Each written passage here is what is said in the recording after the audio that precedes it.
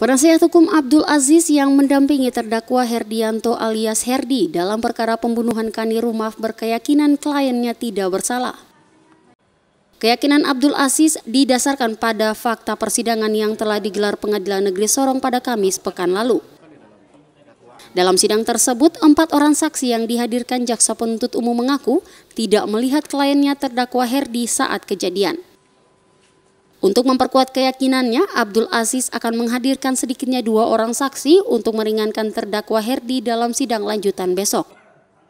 Kembali pada fakta persidangan tiga orang saksi ya, yang dihadirkan oleh jaksa penuntut umum, empat orang, itu tidak ada yang melihat oh, secara langsung eh, klien saya melakukan apa yang ditemukan di dalam dakwaan umum. Jadi eh, untuk saat ini kami masih berkeyakinan bahwa Freddy tidak terlibat. Kalau untuk saksi masih mungkin sidang lanjutan mungkin jaksa akan apa menghadirkan saksi lagi. Tapi untuk kami juga saksi meringankan nanti kami akan hadirkan. Paling sedikit dua. Sidang lanjutan perkara pembunuhan Kani Rumaf akan digelar besok Kamis 30 Juni dengan agenda mendengar keterangan saksi yang diajukan jaksa penuntut umum.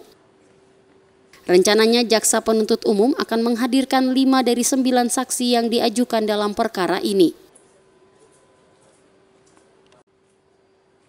Tim Liputan Papua Channel